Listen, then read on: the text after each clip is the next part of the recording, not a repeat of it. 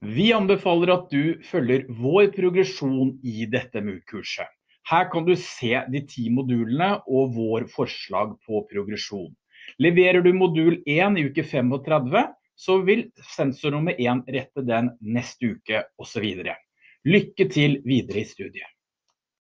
Har du generelle spørsmål i studiet, kan du stille det i kursets Facebook-gruppe. Har du spørsmål til en av de ti modulene, så stiller du det i diskusjonsforumet i vårt LMS Canvas. Vi sitter der og venter på å svare deg på det du lurer på.